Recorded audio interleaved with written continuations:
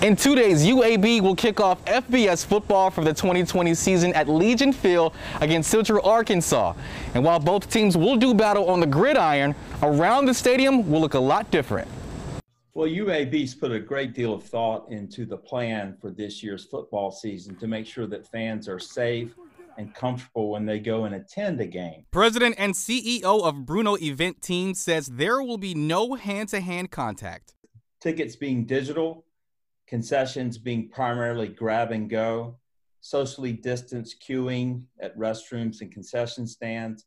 Uh, everyone must wear a mask while they're inside the stadium. Fortunately for UAB, Legion Field seats 70,000. The UAB ticketing office has put a great deal of thought into how the various fans will be seated, allowing fans ample room to watch the game and not be uncomfortable that they're too close to people that they may not know.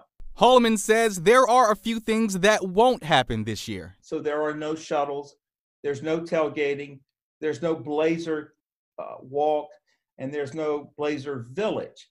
That's a lot of no's, but there are plenty of yeses. The best news of all, there will be football in Birmingham. Jared Oliver, WVTM 13.